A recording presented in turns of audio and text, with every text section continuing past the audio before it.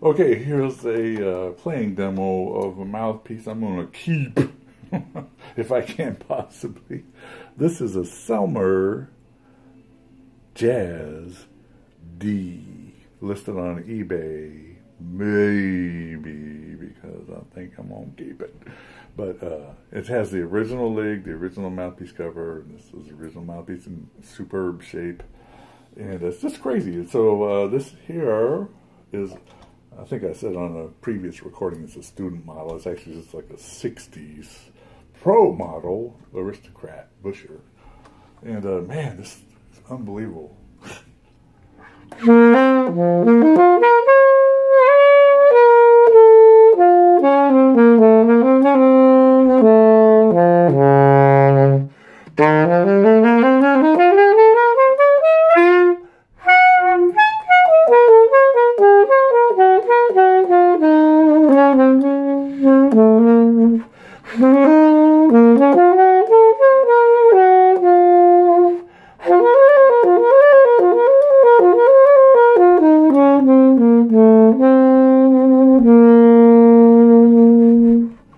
It just uh, pops and really nice mouthpiece. I think it could make just about any horn sound great.